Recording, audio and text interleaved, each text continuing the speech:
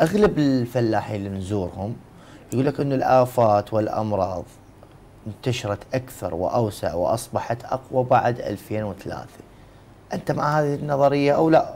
تحليل يمكن يعني شخصي أو إحنا نعتمد بدرجة الاساس على ما تسجله. بالضبط. وزارة التعليم العالي ووزارة الزراعة ومتحف التاريخ الطبيعي بالآفات اللي تسجل وهناك فرق متابعة. تسجل الافات اللي تدخل إلى البلاد. مو بهذا الكم. هناك آفات آه، كانت آه، ثانوية تحولت إلى رئيسية. نعم. هذا السبب الرئيسي هو شنو؟ سوء استخدام.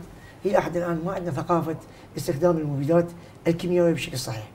بعض إلى حد الآن الفلاح يفكر أو المزارع طبعا آه، يفكر باستخدام مبيدات تكون أثرها سريع. قتل مباشر. قتل مباشر يظهر لي صفه مقاومة في نفس الافه اللي يشوفها بعد خمس سنوات. تكون أقوى. تكون أق... مثل التطعيم. بالضبط. تطلع الافه بعد ما ما يأثر عليه المبيد الثاني ويقول يقول يا مبيدكم انكشوا صارت عندنا؟ أكثر من الع- العديد من الافات اللي تكافحها ذات وقت. المزروعات